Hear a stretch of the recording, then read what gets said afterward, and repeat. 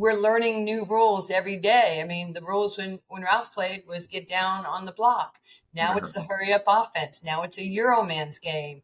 Now you could be seven foot four or five or whatever Victor is, come down the court through your leg. Ralph was doing that in the 70s. But, you know, right. if he did two months, it was like, dude, man, give the ball up to Othell Wilson. That was his point guard. yeah. I, you know, I mean, it was so structured. Now it's a free flowing, and you have to learn how to play in that. And it's called growth and understanding of where the game is today. And if you're rooted in your own, this is how the game has to be played, the game's going to pass you by.